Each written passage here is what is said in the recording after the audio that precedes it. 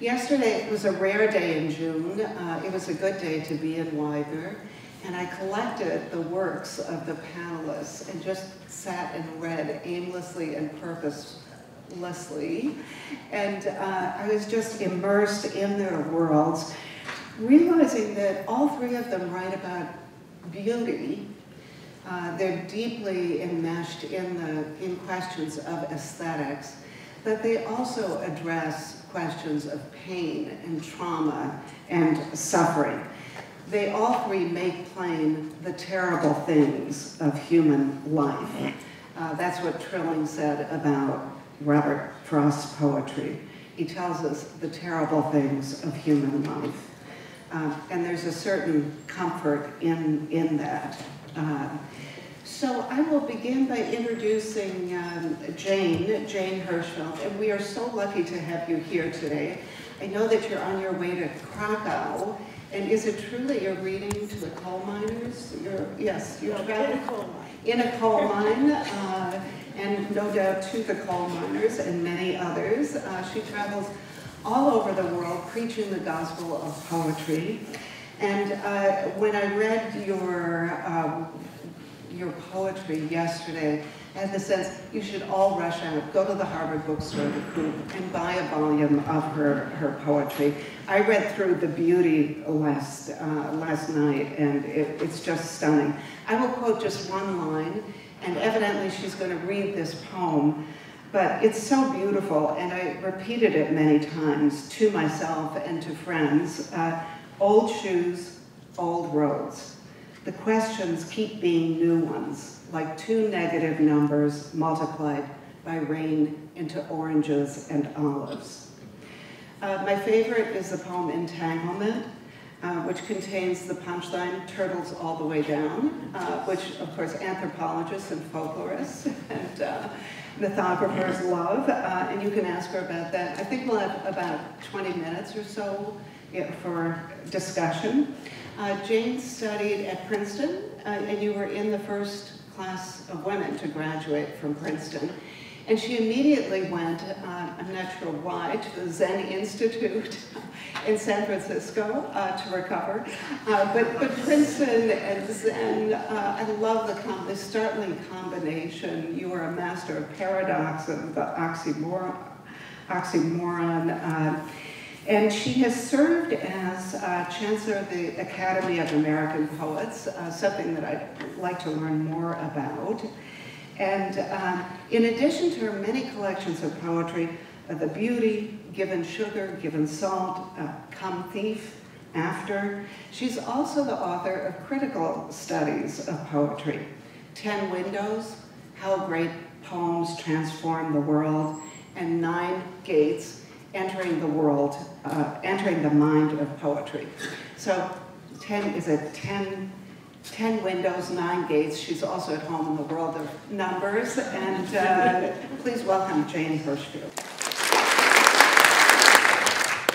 Well, it is an enormous honor to be part of this celebration and to be here uh, with uh, Jamaica and Elaine and all of you.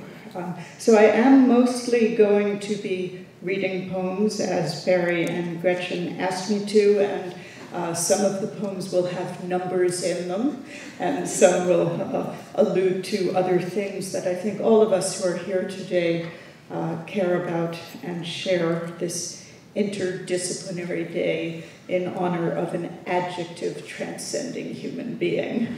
Although you did a pretty good job, effervescence lifting weights. Uh, but before I read the poems, I thought I would read uh, one quote uh, which shows uh, the recognition from uh, the other side, i.e., your side, of the confluence between mathematics and poetry which has something to do, I think, with uh, symbolic smallness and largeness being inextricable, um, uh, beauty, elegance, usefulness. And so uh, here are a few words uh, taken out of a lecture by the Fields mathematician uh, Michael Atiyah on the subject.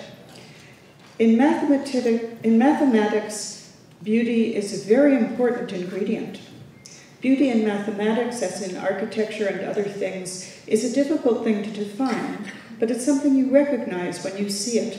It certainly has to have elegance, simplicity, structure, form. The aim of the mathematician is to capture as much as you possibly can in small packages, a high density of truth unit per word. And beauty is a criteria for that. If you've got a high density of beauty, it means you've got an awful lot identified in a very small compass. Um, I, am using this quote in an essay about very short poems that's about to come out. Um, a large, waffly, woolly result is rather dilute. In the absence of experimental science, the mathematician has to test his result by some other criteria. And one of the criteria is simplicity, beauty, and elegance. That shows he's on the right track toward truth in thought. Its appeal is more than just liking a pretty picture. Beauty has significance over and above its immediate attraction. And I know these are very old fashioned terms, uh, truth and beauty, and yet we human beings seem uh, really kind of stuck on them. So I'm going to begin with a relatively early poem uh, titled Mathematics. And some of you may recognize in its description of a building uh, the Mormon Tabernacle in Salt Lake City. Mathematics.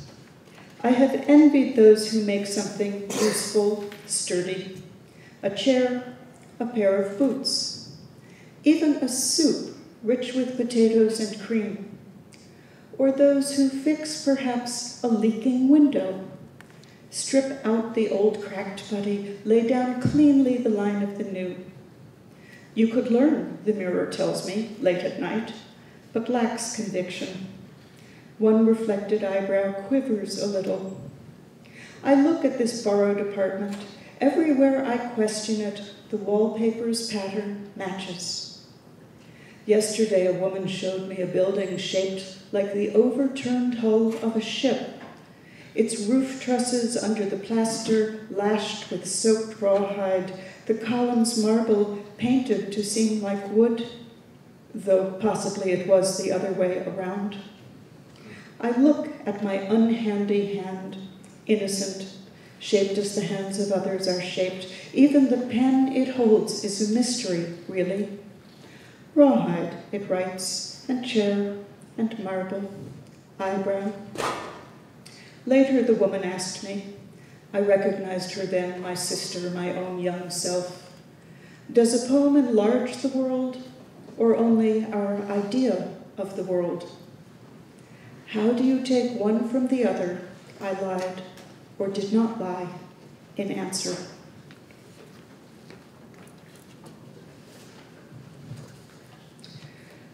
Like two negative numbers multiplied by rain. Lie down, you are horizontal.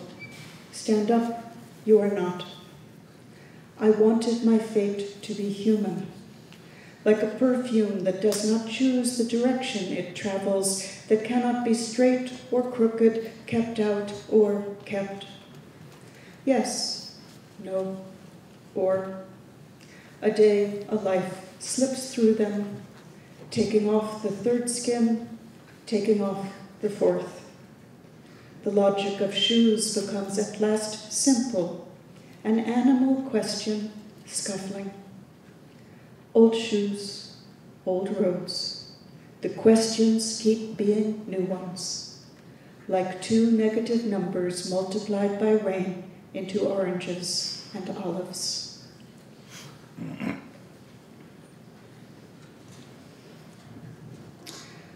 Like the small hole by the pathside something lives in.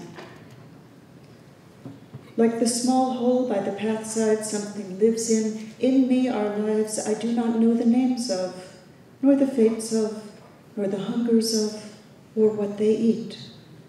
They eat of me, of small and blemished apples in low fields of me, whose rocky streams and droughts I do not drink. And in my streets, the narrow ones, unlabeled on the self map, they follow stairs down music ears can't follow. and in my tongue borrowed by darkness, in hours uncounted by the self clock, they speak in restless syllables of other losses, other loves. There too have been the hard extinctions, missing birds once feasted on and feasting. There too must be ideas, like loud machines with tungsten bits that grind the day. A few escape, a mercy. They leave behind small holes that something unweighed by the self scale lives in. Uh, so I'm going to read also, Maria didn't know I was going to read either of these poems, but the Entanglement poem, um, which I suppose is a, a, little wicked of me because it, uh, it begins set in an academic conference in uh, the David Lodge universe of small worlds where everybody is sleeping with one another. Um, uh, but it is, of course, the entanglement of physics as well. Entanglement. A librarian in Calcutta and an entomologist in Prague signed their moon faced illicit emails ton anglais.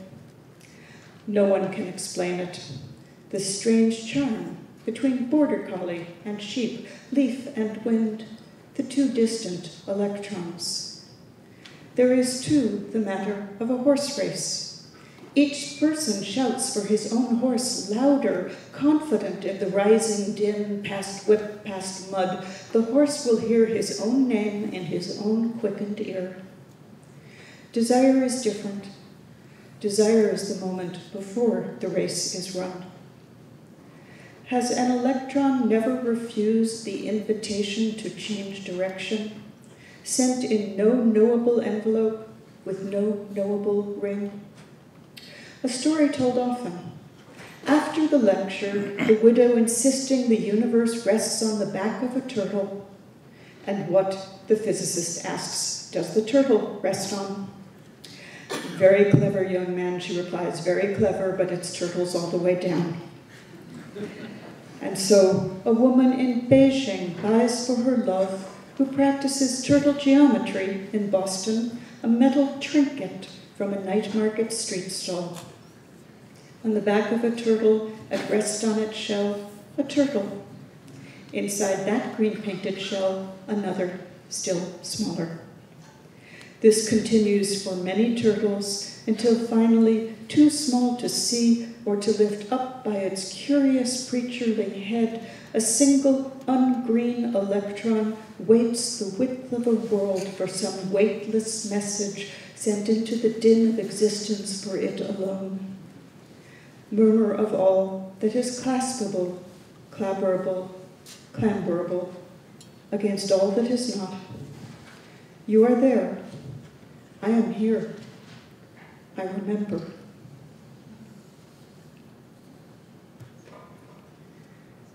Zero plus anything is a world. I wrote this poem after um, most of my nuclear family had vanished. Four less one is three. Three less two is one. One less three is what is who remains. The first cell that learned to divide learned to subtract. Recipe Add salt to hunger. Recipe Add time to trees. Zero plus anything is a world. This one and no other, unhidden by each breath changed. Recipe Add death to life. Recipe Love without swerve what this will bring sister, father, mother, husband, daughter. Like a cello forgiving one note as it goes, then another.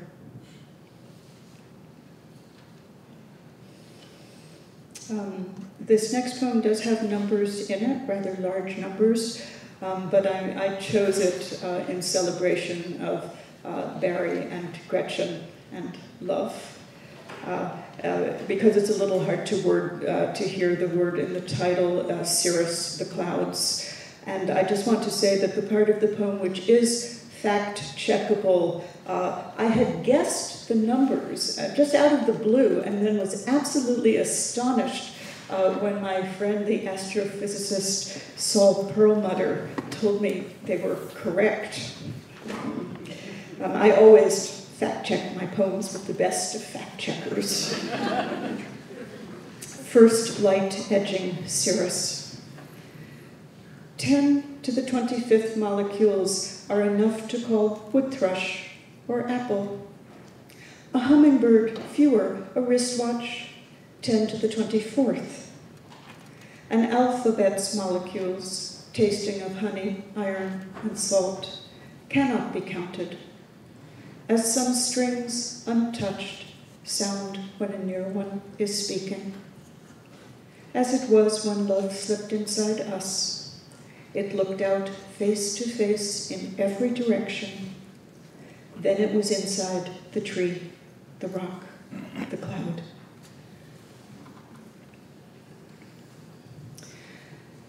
I have uh, more recently, since uh, the most recent book, uh, there is an ever increasing number of poems uh, dealing with the crisis of the biosphere.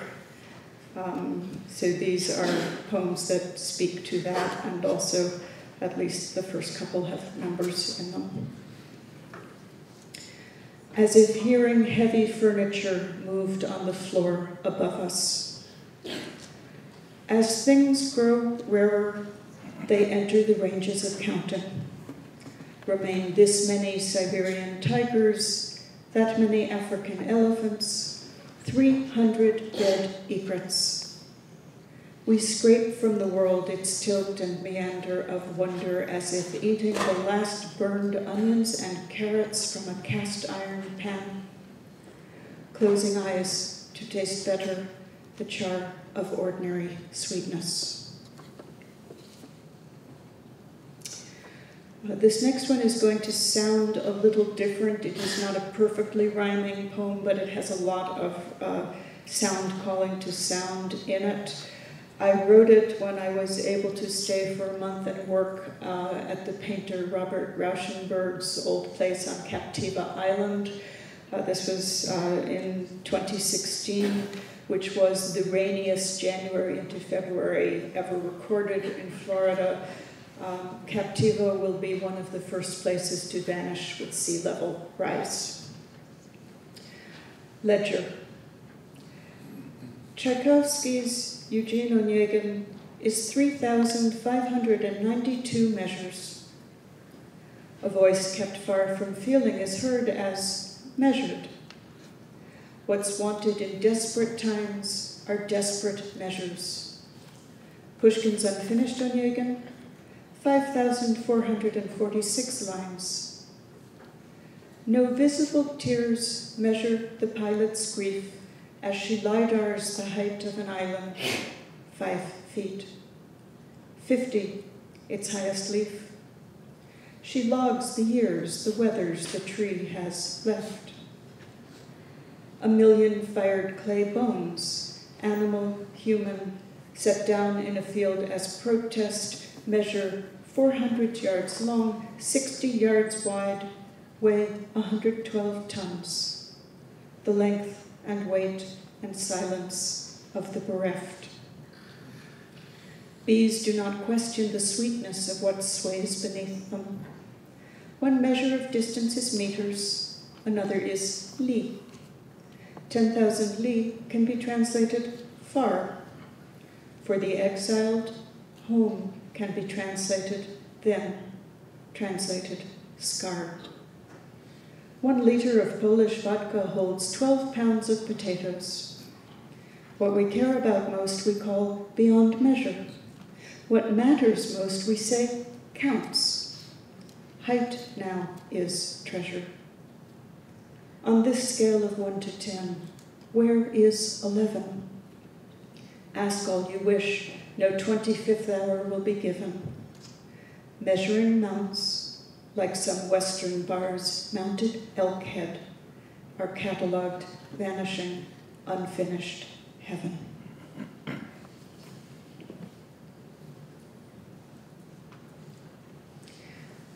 Uh, this next one begins referencing a rather well known to biologists essay. Ant's Nest. On Being the Right Size, Haldane's short essay is titled. An ant's nest can be found at the top of a redwood. No bird that weighs less than, no insect more than, the minimum mass for a whale, for a language, an ice cap. In a human sized room, someone is setting a human sized table with yellow napkins. Someone is calling her children to come in from a day whose losses as yet remain child sized.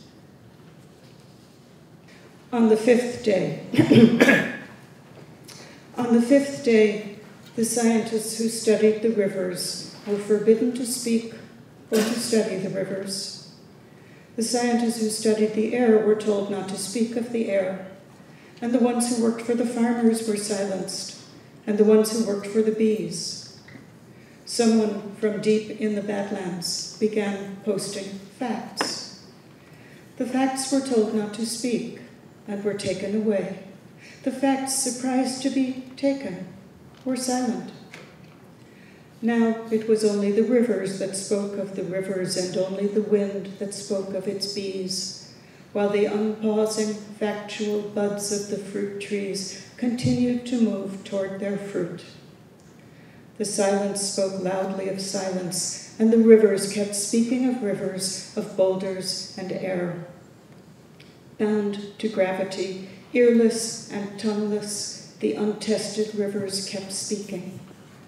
Bus drivers, shelf stockers, code writers, machinists, accountants, lab techs, cellists kept speaking. They spoke the fifth day of silence. What it actually refers to is the fifth day of the current administration, which I'm sure many of you will remember was the day that all references to climate change were taken down from the White House website, and all scientists who work for the government were told not to speak to anyone. And I did not want to leave you too sad, and so I thought I would close with a poem uh, which certainly reflects uh, Barry's character and way of being in the world. Um, I, I, wrote it at a time when I myself personally needed the quality it talks about, but also very much in awareness of um, ecological disaster. Uh, the uh, spill in the Gulf, the Deepwater Horizon, had happened, and I think uh, most of you probably know what was surprising about that was the extent and the speed to which, yes, irreparable damage, but the recovery surprised those who were looking uh, by how quickly it actually went. And they realized that this was partly because of nothing that human beings were doing, but because the very uh, tiny creatures of the waters themselves we're working towards the repair of the spill. Optimism. More and more, I have come to admire resilience. Not the simple resistance of a pillow whose foam returns over and over to the same shape, but the sinuous tenacity of a tree. Finding the light newly blocked on one side, it turns in another. A blind intelligence, true, but out of such persistence arose turtles, rivers, mitochondria, figs, all this resinous, unretractable earth. Thank you.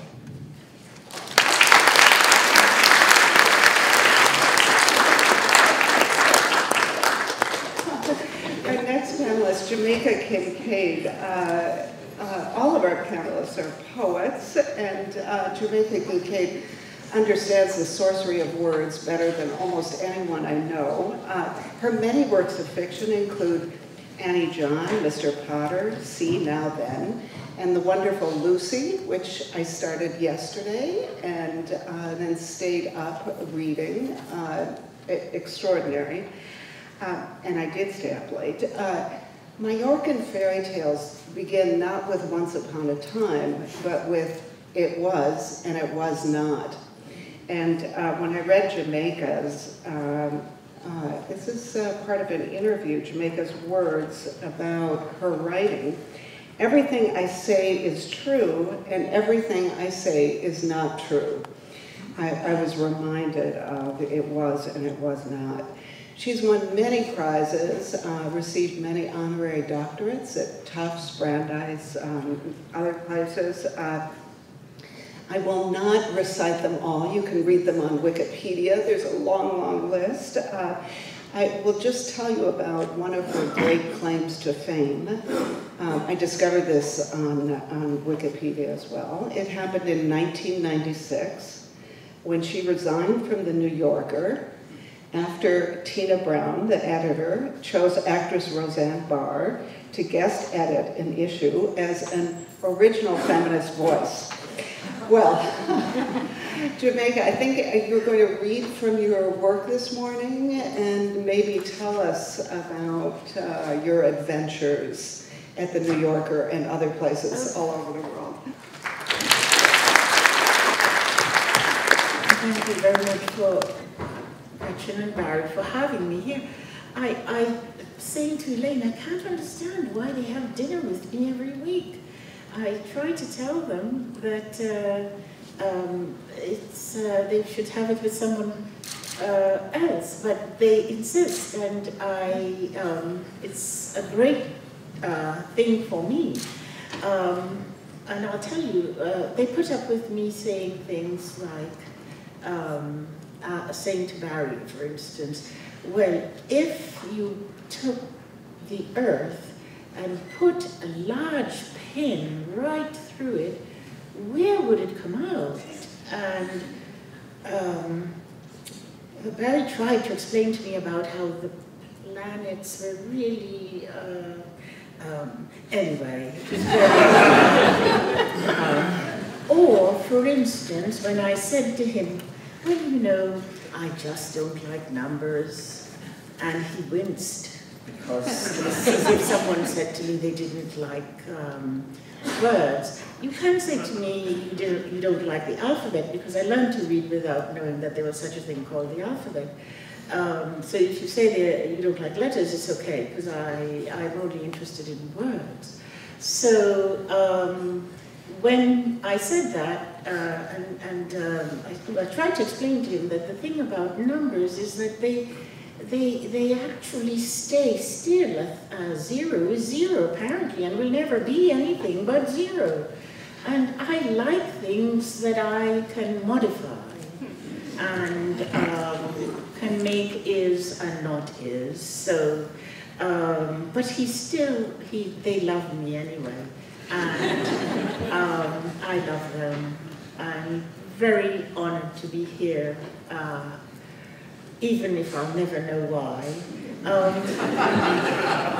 I, I, I, they both, um, I can't separate them. They both have, Barry and Gretchen have a, I call them the Bee Gees. Get it? B and G. Um, so, um, they have a, an enormous influence on me in um, for instance, the way I, I am a parent, um, they are so they they are such loving uh, people um, that I just said, oh, looked at them and said, oh, this is how you do it, and it um, made me into a better parent. They they they could give you lessons on this, and uh, if they did, your children would just love you forever, um, even if you don't want them to. Um, so there's that. But um, I can see that, uh, I wrote this book, um, and I can see the, the influence that speaking to Barry, the numbers thing would have had on me. I'm always very interested in time, which I think a lot of people have interpreted as um, interested in autobiography and memory and so on, which is also true, but it's essentially, uh, uh, I'm interested in how you make sense of time.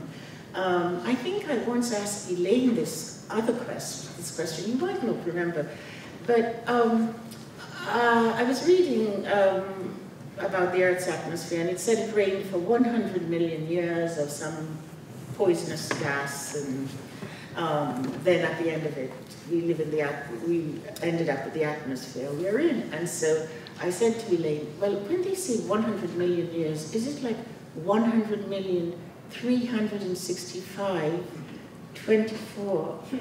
And do you remember this? No. Okay. and, um, and she said, well, uh, um, well, I, I, think so, because it's just a sort of question I think about all the time. Um, and every once in a while I allow myself to um, tell someone this is what um, I'm thinking.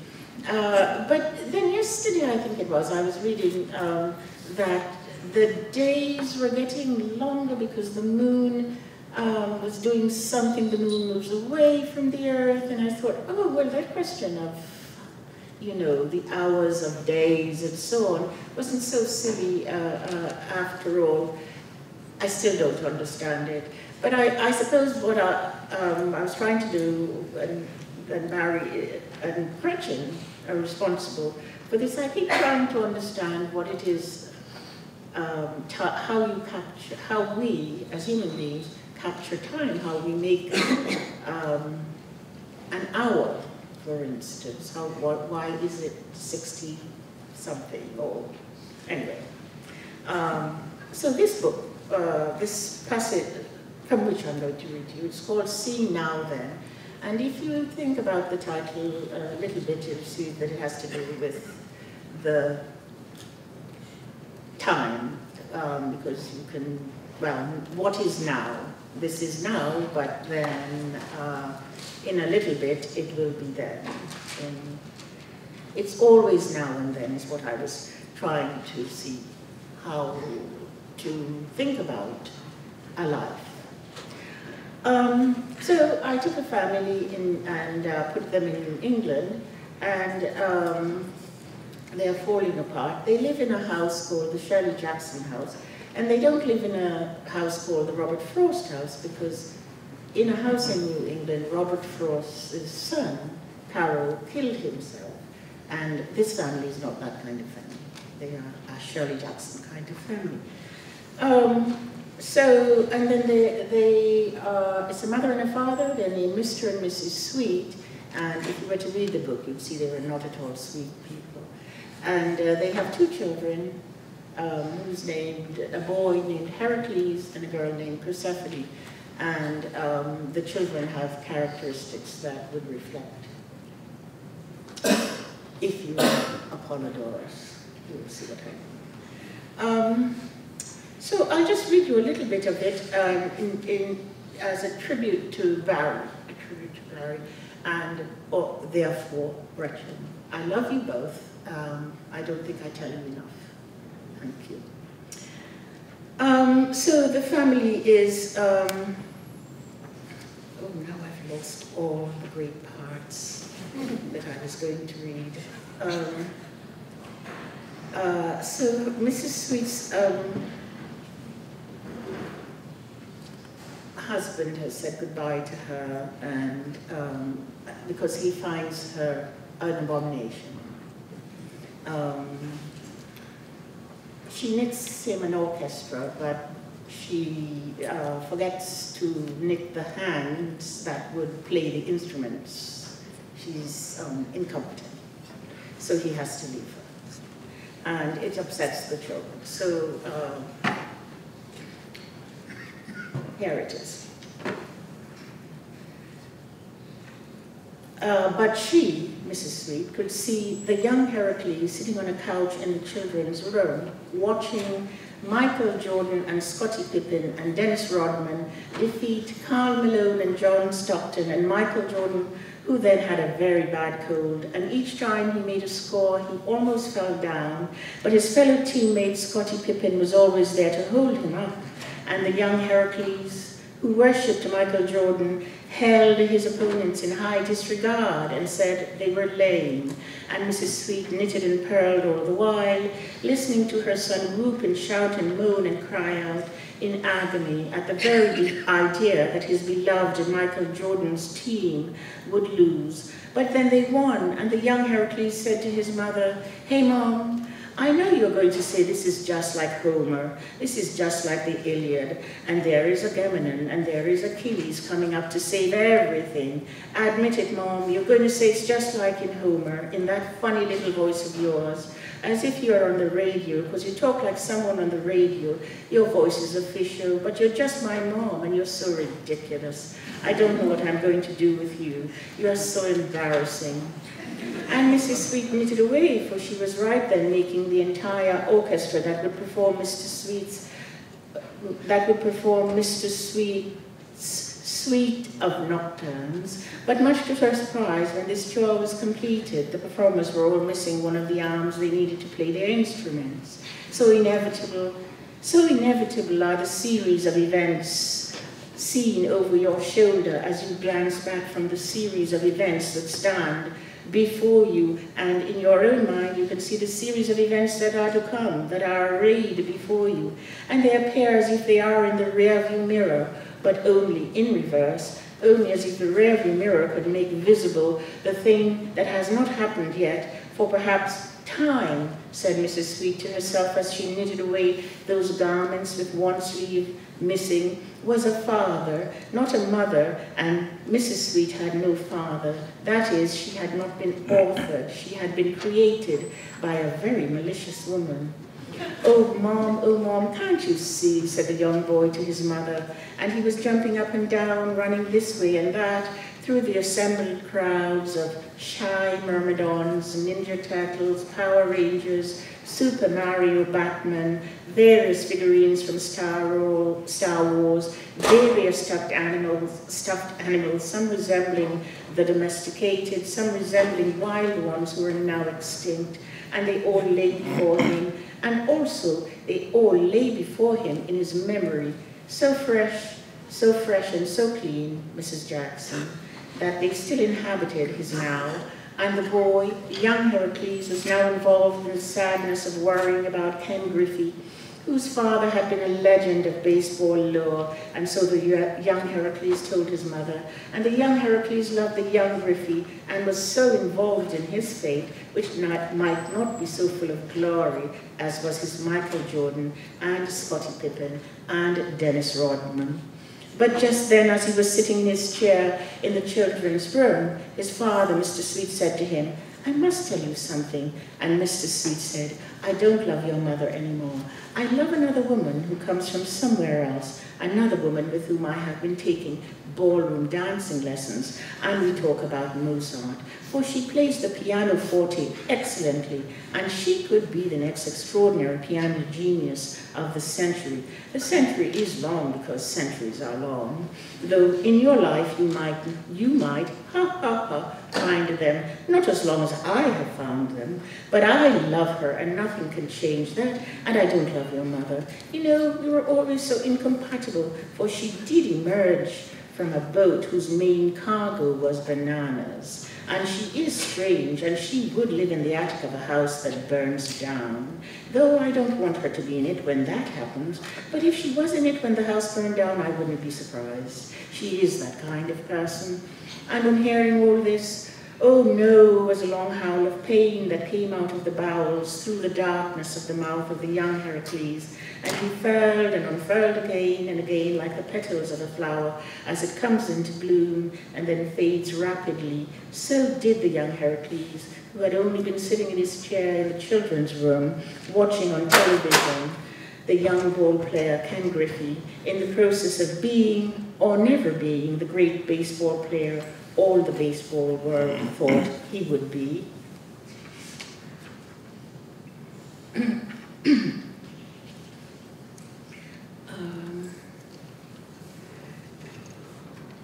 in the corner of that room in which the young Heracles heard the indictment against his sacred mother. He loved her so. He thought her ridiculous, her obsession with plants and flowers and fruits that they bear, her wanting to wear jumpers made of denim, the uniform of workmen in some faraway country, to parents night at his school so all the other parents could see that she wasn't at all like them, her love of cooking food that took a long time to prepare, duck with plum sauce, that took days before it was ready to be eaten. The other mothers didn't know that she could sing all the words to Stan and that she loved Dr. Dre. She once went off to China and spent weeks there collecting the seeds of plants she could grow in her garden. That time she told a man who was taking his family on a shopping on, a, on his family on a shopping outing to Manchester, and he took her parking spot before she had a chance to position her car properly. And he, he took her parking spot before she had a chance to position her car properly. Maybe your dick will fall off. And the man, who had never been spoken to like that before in front of his treasured family, became enraged, so much so that it filled him with shame, and he almost collapsed from it, but he soon recovered and did not yield the parking spot and he proceeded to the Ralph Lauren outlet and was never seen again by the young Heracles. And mom is so ridiculous, and she is so ridiculous, and mom is so ridiculous. He thought of the time when she had taught him to make her a martini, so he could bring it to her at half past five in the afternoon while she was in the garden doing something that nobody in the rest of the family cared about. And there was this day when Mr. Sweet came into the house and said to the young Heracles, Have you seen my beautiful wife? And Heracles answered, No, but if you're looking for mom, she's in the garden. and, and mom, who loved the garden as if it were a person or something like that, so thought the young Heracles, and none of the other mothers were like that. None of them thought the garden was like a person and had an individual need and that it called for attention and care and could enrich your inner life so thought the young Heracles. None of my friends and mothers were like mom, and it is so embarrassing. Mom is so embarrassing. If she wasn't my own mom, I would have gone out and found a mom who wasn't like her at all. A mom who was just like the other moms, for mom is so embarrassing. I'm just outside the room in which corner lay the shy Myrmidons and the Ninja Turtles and the Power Rangers and Darth Vader and Luke Skywalker though never at all Princess Leia, and Batman, though never at all Robin.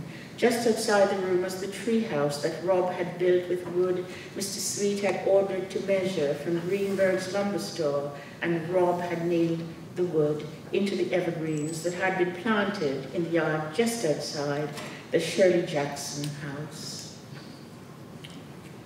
Uh, come on.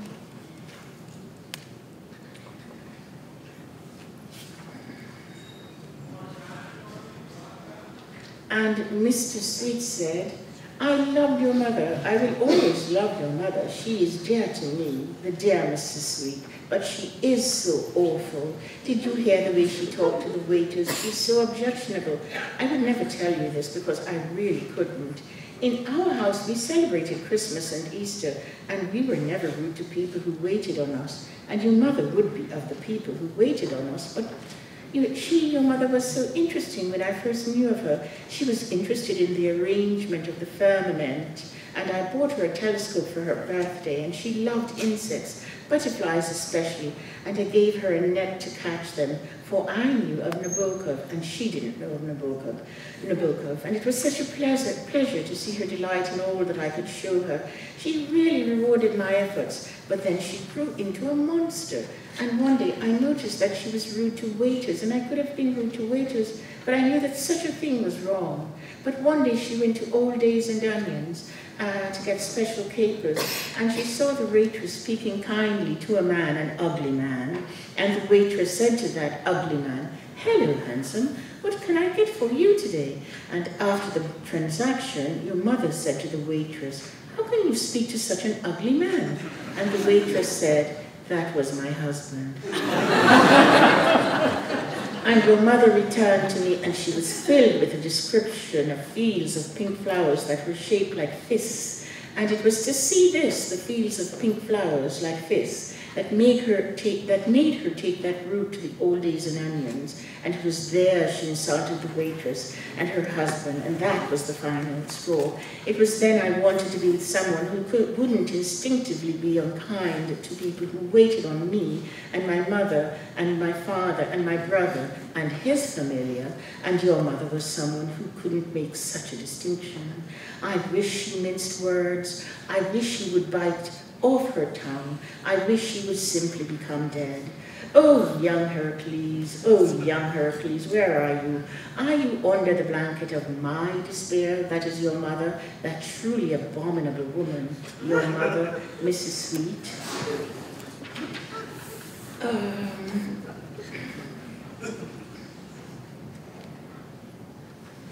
um, Listen to this right now, Mr. Sweet was saying, I love you, but I don't love you in the way I love someone so superior to even myself, someone I shouldn't be allowed to even speak to. She's so wonderful and outside any realm I have ever known. And Mrs. Sweet heard all these words, but couldn't understand them really, and could only see Mr. Sweet as he would one day be covered with small worms, crawling and crawling through, going only from his head to his toes and no further than that, than that, and then his whole body was like lacework, beautiful and useless, waiting to be turned into something, the bodice of a dress or the top, of bo top border of curtains, something seen in passing and in the end annoying. Listen, Mr. Sweet was saying, and now Mrs. Sweet turned into not stone but a mound of mud, and sorrow became her middle name as if she possessed one, but she did not then and not now and she sank into her ancient landscape, and that would be memory, and that would be her mother, and that landscape had a horizon, and she longed again and again to see the end of it, to see the horizon and stand on it and see the thing it held, or the nothing within it. My mother was very beautiful, and I was ashamed of this. I was so ashamed of my mother's beauty. Things change, Mr. Sweet was saying to Mrs. Sweet, things change. But that was the harsh version, for he was in a state of rage. His voice was like a Wilkinson razor was like a Wilkinson razor blade, newly merged from that ironmonger's factory. His arms jabbed at her, but stopped short of making contact with the inconsolable mass of flesh, heaving with sorrow, and then resting from that. Things change, sweetie, things change. And he twitched his hips and shook his head vigorously, dancing to a music that was heard only by him, or so Mrs. Sweet said to herself on seeing him then, and then he began to hum out loud parts of The Rite of Spring, The Sea, The Cat, The Spider's Web, The Rat, The Dog, The Child's Bed. And after he was done with that, he said to his wife, now shorn of her former dignity, Mrs. Sweet, and she was wearing a lovely brown dress made by Lilith. I never loved you, you know, I never loved you. Not because you were unlovable, though really you are. No one could love you, not even me who knew nothing about love then, but now I do, and I see that I never loved you. For you are like walking into barbed wire in the dark. You are like an invitation to a tea party in an ant nest. You are like, you are like, I can't any longer right now think of what you are like. So said Mr. Sweet to Mrs. Sweet, and just then, right then, she was so beside herself with grief, and she wept, and her tears watered the primula capitata, which she had planted under the giant white pine tree, and so her tears were most welcome by that delicate plant, native as it is to the moist regions of the Himalayas. And she wept and wept, and Mr. Sweet spoke to her as she was bent over the parched, the parched primroses, themselves wilting and prostrate, prostrate on the ground, suffering from the harsh conditions under which they were forcibly being cultivated in the crotch of the roots of an evergreen native to Canada, though they came from the Himalayan region of the world. And Mrs. Sweet wept and wept and wept some more, for Mr. Sweet said then to her, You are just crying because you know the children and I will never forgive or forget the terrible things you have said and done. And that made her die a death in which she was still alive, not dead at all, but still alive and yet dead. For he showed her life as she had been living in it, the moment when the beautiful Persephone had to be put to bed at dusk, but she re resisted it always, for she wanted to be with her parents. They did things that were mysterious to her, and she would delay that moment when she would be placed in her crib, for she had not yet outgrown it, and the thickly woven cotton blanket would be drawn up and carefully arranged under her chin, for her arms were folded up into her body like a bird if you were baking it as a delicious dish to be served for dinner. Mrs. Sweet died and died in this way, for she lived for a long time, dying over and over again, never coming to a rest a state of not then, not to come, not to have been, only now, only die and die and die. And Mrs. Sweet died, she did die, and never again were the denim jodhpurs that, been, that had been given to her by her friend Rebecca, who had seen them being worn by municipal workers in Japan when she was on a visit there. Each day has 24 hours, each week has seven of those years of those days, each year has 52 weeks, and it is so. And the age of the earth is made up of more than 4 billion years, of those years and weeks and days and hours, then, now, and then again, forcibly enclosed in it. And it was and is and will be so, Mrs. Sweet said to herself over and over again, as if for a song that had been carried on the wind and she had heard it and taken it to heart, a song heard while walking along the banks of the Battenkill River for 28 miles, and she stood still then, seeing in her mind's eye the winding course the river would take, ending with it emptying itself into the Hudson River, some distance away from that place where the sea's tides influence the river. All that is to come will change the way right now is seen. Right now is so certain, right now is forever. What is to come will make, distort, and even erase right now. Right now will be replaced by another right now. And right now is all there is, and all there is over and over again. And no welling up of the fluids in the individual stomach. A universal metaphor for the unstableness of the whole human enterprise as it is experienced by the person making breakfast for the litter of domesticated uh, mammals before her or him, and the boy and girl with Game Boy or Super Mario in hand, as the case may be, no matter how it is heard, no matter how it is felt. And it is such a disappointment right now, for right now is always so incomplete, or so we feel.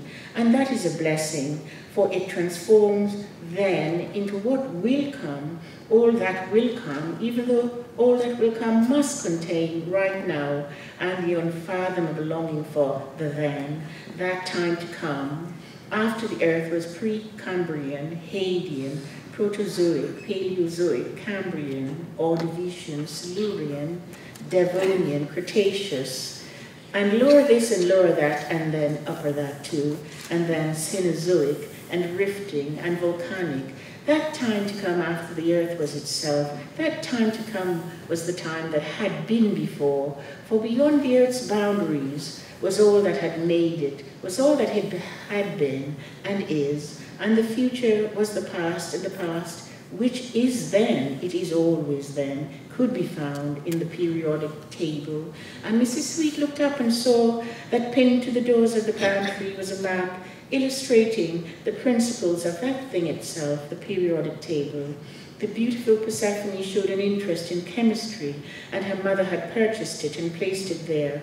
And then Mrs. Sweet looked out the window through the panes of glass that separated and shielded her from all that lay outside the Shirley Jackson house the house in which she lived with her children and her husband, and she could see a landscape so different from the one in which she was formed, that paradise of persistent sunshine and pleasant weather, a paradise so complete it immediately rendered itself as hell.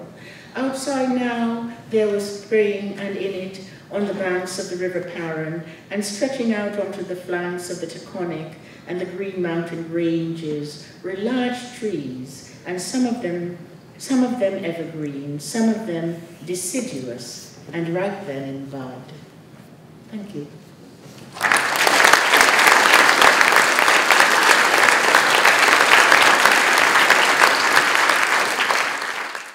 here is Elaine on being an academic. Uh, from I think this is from the New York Times Magazine. There's a wonderful article about you from, what is it, about 2009 or so? Maybe. anyway, you can look it up. There's nothing about being an English professor that exempts you from the normal obligations of citizenship, she says firmly. In fact, you have an increased obligation because you know how to do research. And that is Elaine, uh, who does research and carries out the cultural work of linking aesthetics and ethics, of understanding the connection. Uh, her writings take us to the intersection of, of beauty and trauma, as I mentioned before. First with The Body in Pain, her landmark study of violence and, and torture. It's a book that instantly became authoritative, became part of the canon.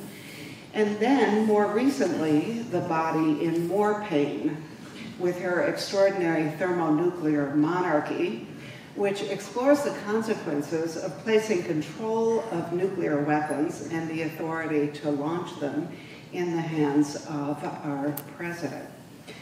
In 2014, uh, we're now at the other end of the spectrum, and there is hope. Uh, uh, actually, I think, am I giving the right date for beauty and not being just? That was earlier, wasn't it? Yeah. Uh, in any, well, we don't have to worry about uh, dates. Uh, this is a book that defends beauty as a moral resource. It's also a book that changed the life of many of my students who read it, read it, and then develop brain crushes on Professor Scarry. And uh, they also read parts of Dreaming by the Book, Nerd Heaven, uh, for those of us who are passionate readers as, as, children. This is a book that tells us many things, uh, but among them, how writers animate their universes, how they create vivacity, and how they enable us to see and feel when they have nothing but words. And Elaine, I understand, is going to talk about Plato, and you will get to see vivacity in action.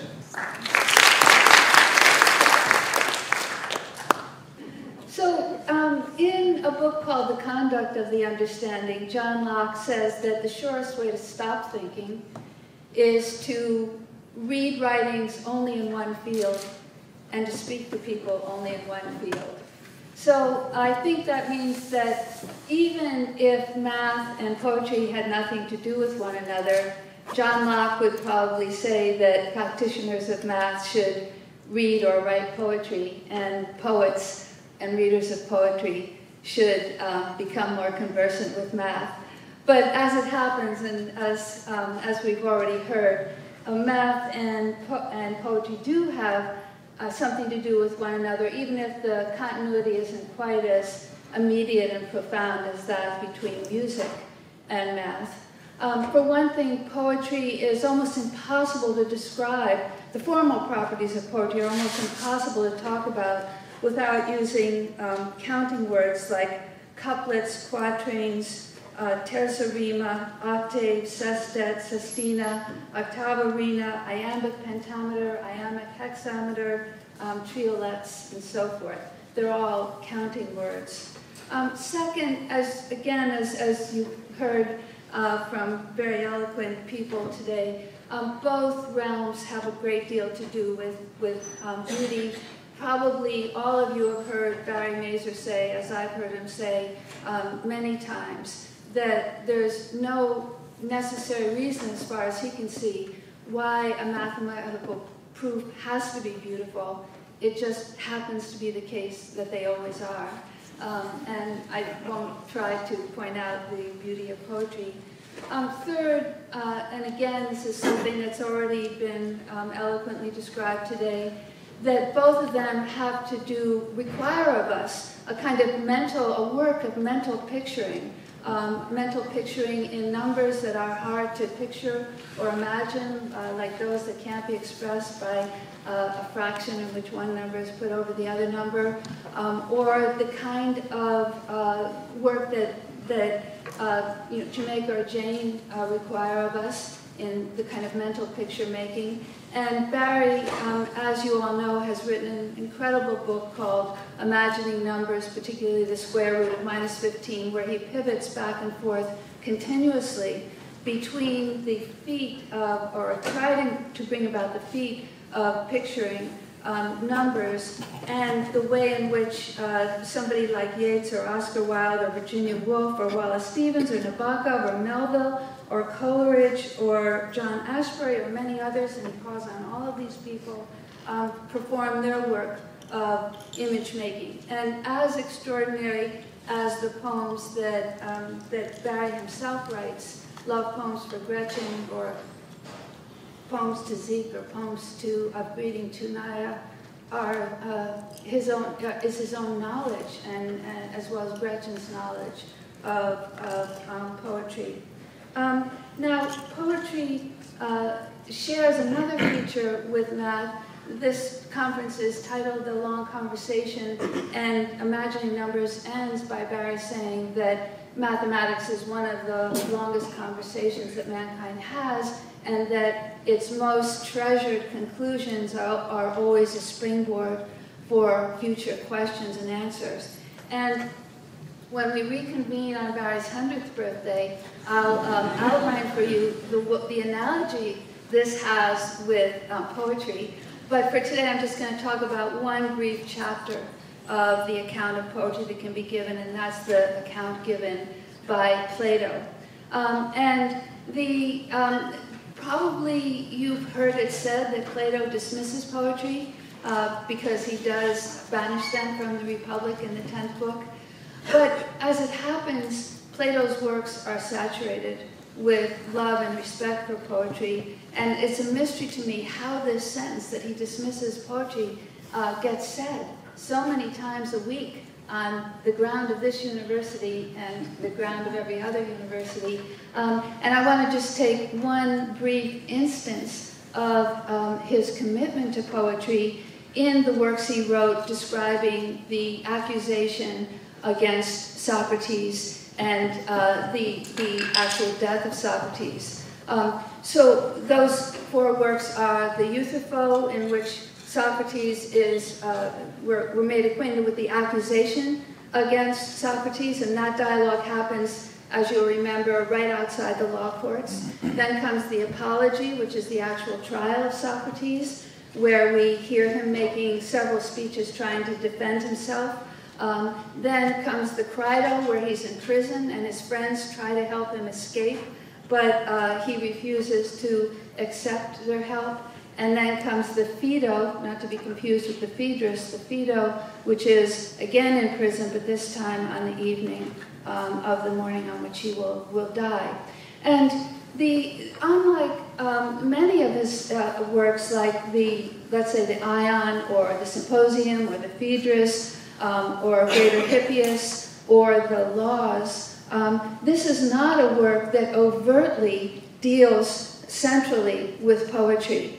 Um, the, the matters in these four dialogues are things like um, the duty to justice argument. Uh, for example, in the Crito, Socrates says, in war and in the court of justice and everywhere, you must do whatever your country tells you to do, or you must persuade them that they're being unjust. Um, and that argument has a much more current articulation in John Rawls's duty to justice argument, which is a, a restatement of it um, you have an obligation to uphold just arrangements where they already exist, and you have an obligation to try and bring them about where they don't already exist, uh, at least if you can do that without harming yourself. But then there's also um, another idea, which is the, um, the, the um, uh, tacit consent through residence. Uh, that you must uh, that you consent to a country by residing in it uh, the idea of um,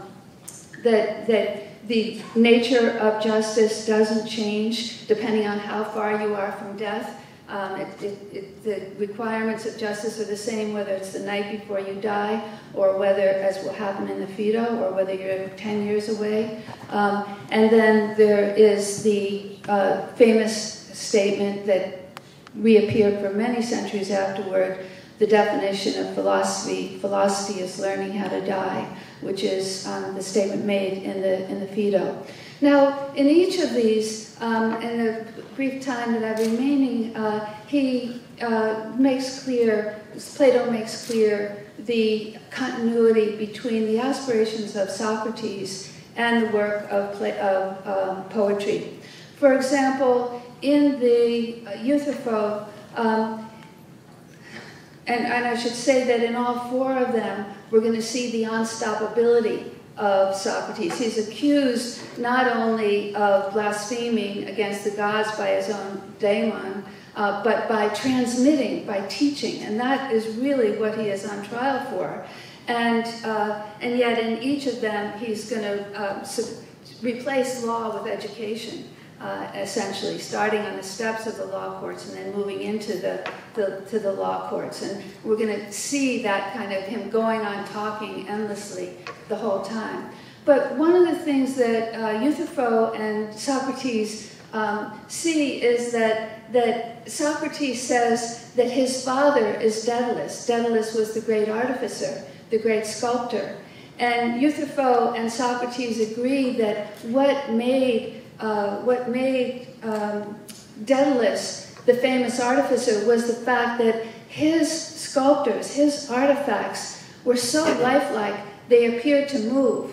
And again, both Euthyphro and Socrates agree that what Daedalus did with material sculpture, Socrates can do with verbal arguments. And in fact, um, Socrates says, I think that I might even be a bigger genius than Daedalus because he could only make his own artworks move, whereas I can make not only my own verbal statements move, but I can make other people's verbal statements move.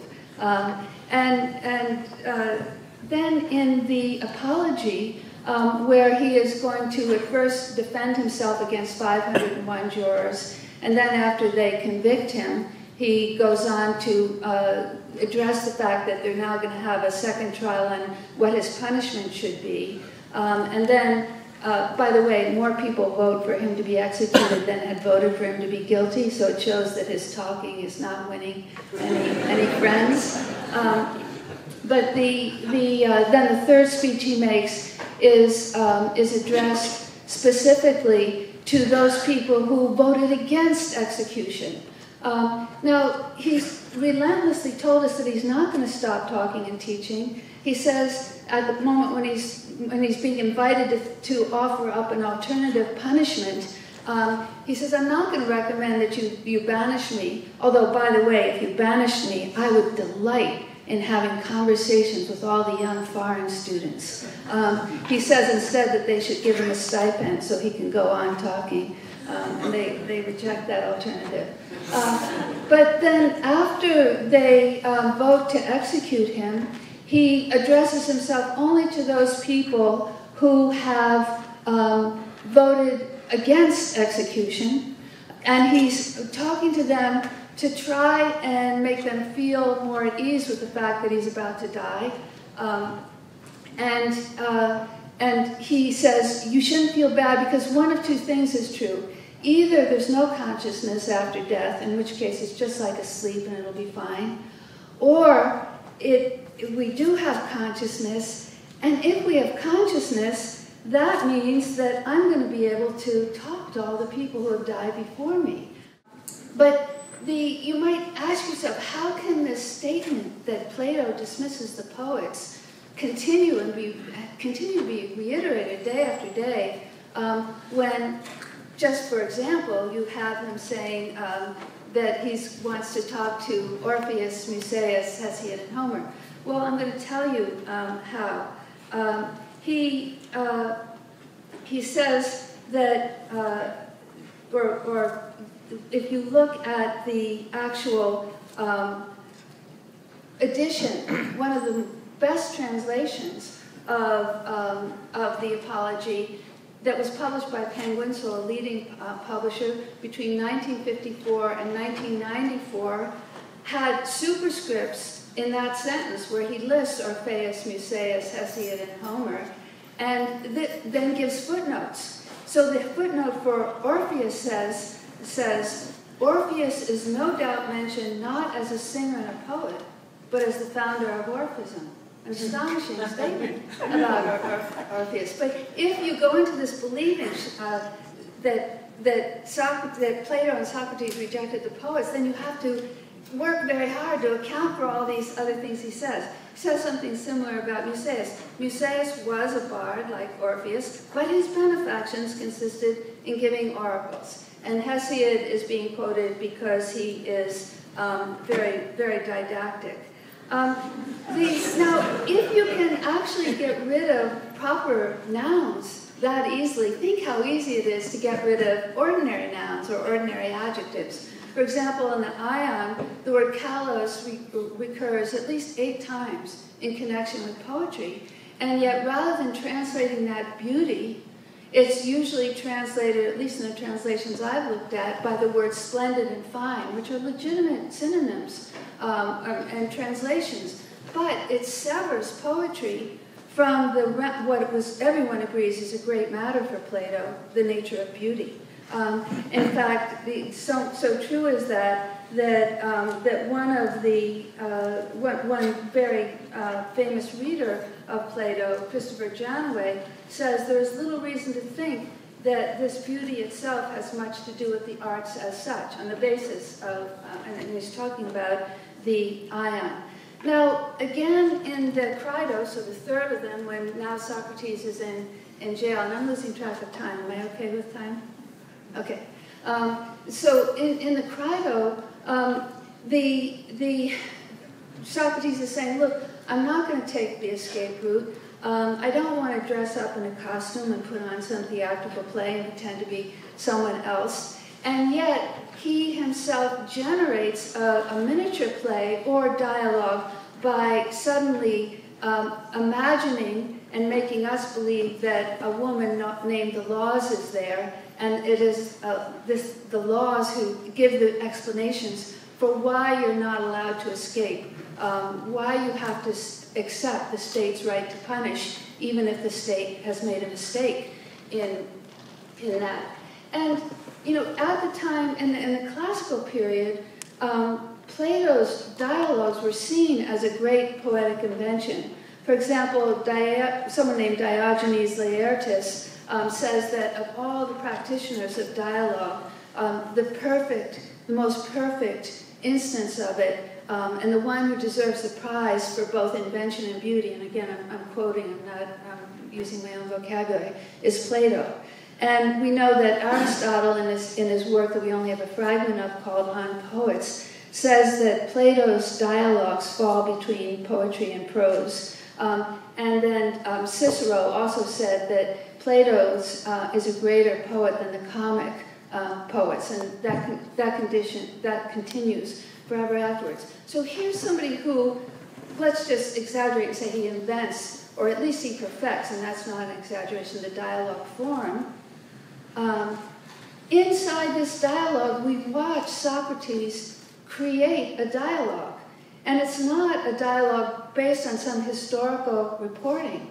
It's a dialogue based on imitating a divine truth, the nature of law, the true nature of law and justice, and enacting it. So we're getting a, a miniature, and this is important because um, Socrates and Plato will say in the Theaetetus that what differentiates mere opinion from knowledge is the ability to have a form that's cognate with the content, uh, that the form has to recreate the content of an idea.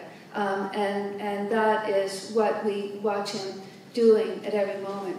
Now, finally, when you get to the, um, the Phaedo, as you remember, the friends come to the prison and say, Socrates, what are you doing?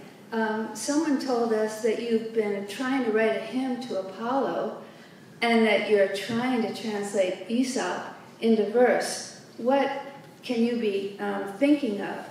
And uh, Socrates says, Well, you know, throughout my whole life, I've heard a voice saying, cultivate and practice the arts. And I thought I was doing this by doing philosophy because I've always thought philosophy was the highest art. But now that I'm getting close to death, I'm beginning to worry that maybe they were talking literally and using the word the way the popular world, world uses it, and they really mean poetry. So just to cover myself, I'm going to try to write a hymn, and he finds out I'm not very good. And he says, and also I'm not really good at invention, so I'm going to take one of Aesop's fables and try and turn it into um, to verse. Not very inventive. Before that passage has even begun, we've watched Socrates create a fable when the executioner takes the fetters off his limbs, and so he suddenly feels uh, the cessation of pain. He creates a little story about the kinship of, of pain and pleasure and says, that was actually as good as Aesop. So he is foregrounded not only his own invention, but the place of imagining, the place of invention um, in all of this. And then finally, um, as you may remember, at the end of this, uh, or near the end of this, this um, as, the, as the night's going on, and he's talking away and away, and remember the executioner says to him, Socrates, you've got to stop talking, because the hemlock is not going to work if you're aerating your whole body by talking um, so much. Um, and uh, I think Socrates says, you're just going to have to give me more, you know, than that. But they say to him, um, you know, Socrates, um, even after you give us lots of rational arguments about why we shouldn't be um, afraid of death, um, and, and of course, many of the dialogues uh, give explanations about, about why we shouldn't be afraid of death, but this one has a special, obvious gravity and poignancy because um, he's about to die. Uh, some of you may know the statement by the 19th century novelist George Eliot about the difference between the general proposition, all men must die, and the particular um, knowledge, I must die and soon. And, and that's the situation we're in in the Phaedo. Um, they, say, they say to him, how, uh, how, even after you give us all these rational arguments about about why we shouldn't be afraid of death, there remains a child in us that is afraid as though of a hobgoblin of dying. And what can we do about that?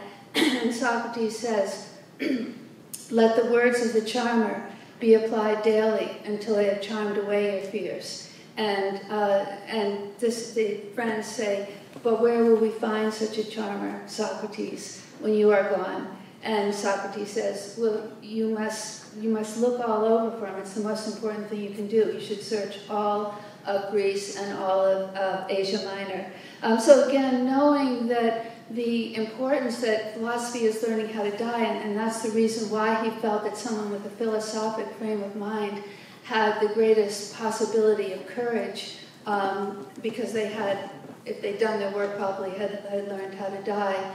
Um, you can see the, the, um, the importance of this, which is um, validated in many of his other writings as well. Thank you.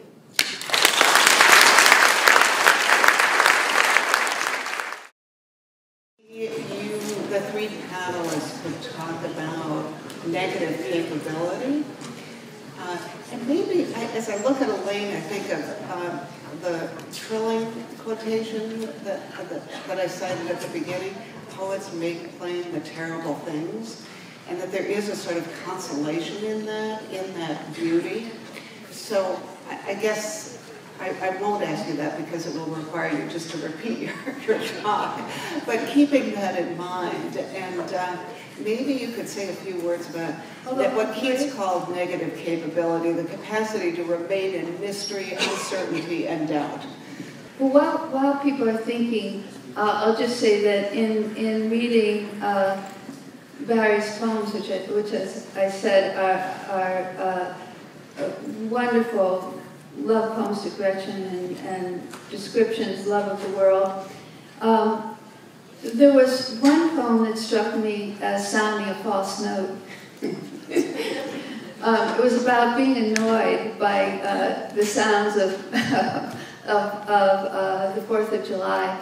And I thought to myself, you know, I see this person every, at least once a week for several hours. I've never seen him be annoyed. Have any of you ever seen Barry Mazur be annoyed?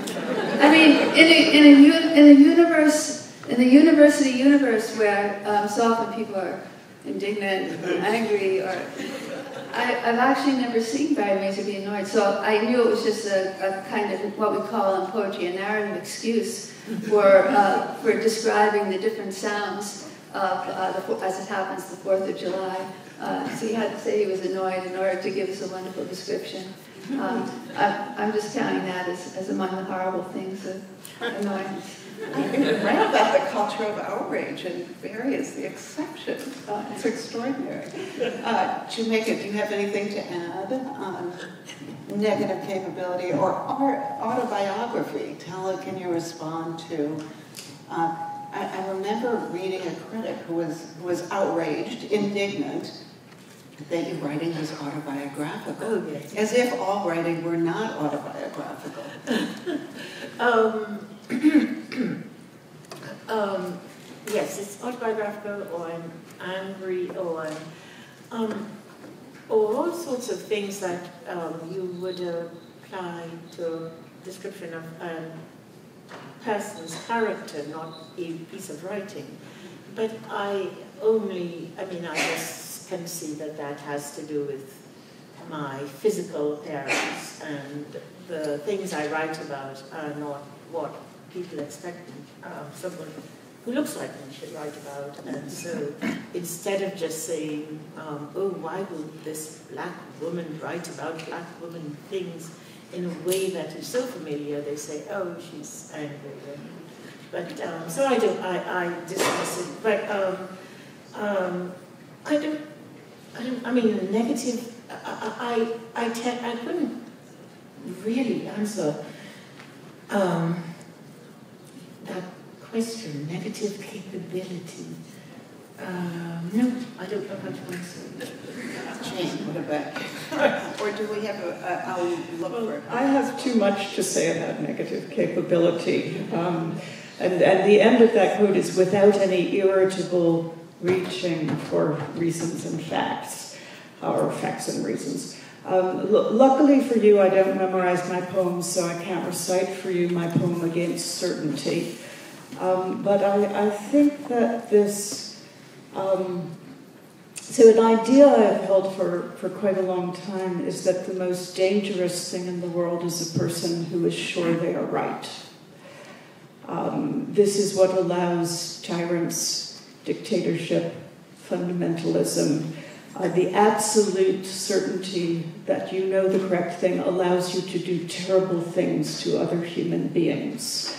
Um, a teaching in Buddhism, which I much have, have long had great affection for, is that all Buddhism rests on a tripod um, great effort, great faith, and great doubt. And so the practice of Zen, which is the school of, of, of Buddhism, which I have uh, been part of for some decades, um, it is very much about maintaining your doubt of all your ideas, all your perceptions, at the same time as you embrace your ideas. It's not nihilism.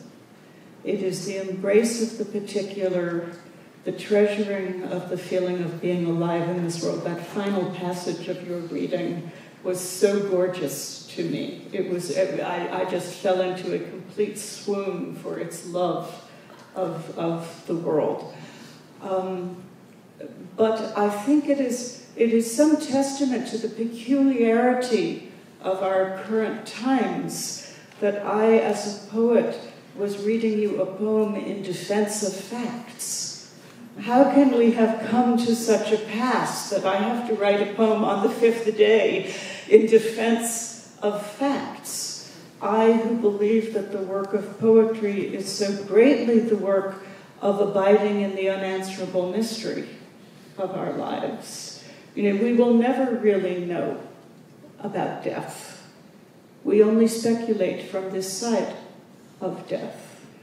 And yet it is the job of poetry to extend a hand into the terror and hope and despair of the fact that our lives will end and say, it's all right. Feel all those things. It is all right to feel all those things. It is what makes us human.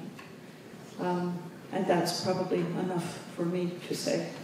Um, that's a wonderful note on which to end things, but we do have one minute, and I don't want to deprive us of another minute with the panelists. Uh, could you just, each of you, say something about the cult of the writer today?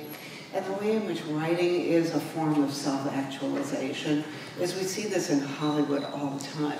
What do what do young women aspire to, uh, but to becoming becoming a writer, and what writing and words have meant uh, for you? I'm just, I'm just struck by the immensity of that subject because the, uh, in, in English department at Harvard and I think in many, many schools and no doubt in other language departments, the, um, the emphasis on, on writing, on creative writing, um, and both of you can speak much more about that, is, is becoming more and more emphasized and more and more of the coursework is migrating over to people actually learning to write creatively. And it's, it's something that is, um, like all good things, uh, needs to really be tested and examined. And one thing that, that our faculty all the time uh, recognizes, both the, the um, creative writers in the department and the uh, critical writers in the department, is that, that uh, it's, it's very important for the two not to be severed um, because great poets, um, you know, T.S. Eliot, Seamus Heaney, uh, etc., they knew the other poets. Um, they didn't just know their own poetry. So the danger is whether people um, begin to only write work, write, do their own writing, and forget to read the metaphysical poets and forget to read uh, poets from many different countries. Um, and Jamaica, how do you ward off all the people who want to take your classes? Um, well, I think I have a very um, unpleasant reputation. So, um, I, I, um, but I, I, I agree with, uh, uh, with Elaine. I, I actually um, I teach creative, uh, something called creative writing, but I, I don't really um, think you can teach anyone uh, to write. Um, so I don't. I think it should never be severed. Uh, and I think you know, write, someone wanting to write, if you are 20 or so, should probably not read a book uh, while you are trying to write. Should probably not read a book that was published. After the 19th century. So there goes my royalties. but uh, I, I think you, you, you should just um, read the people who came before. It's, I, I, I'm sorry that so many of the people who wrote before were all dead white men, but I find it forgivable because it's not entirely their fault that they're dead. um, I would say that uh, yes, the, the I, I'm very I have my students read things like catalogs, plant catalogs, because they don't know how to describe anything, and, they you know they don't really you know they all want to write some stupid thing. And, um, and they should take, yes, I send all my students to the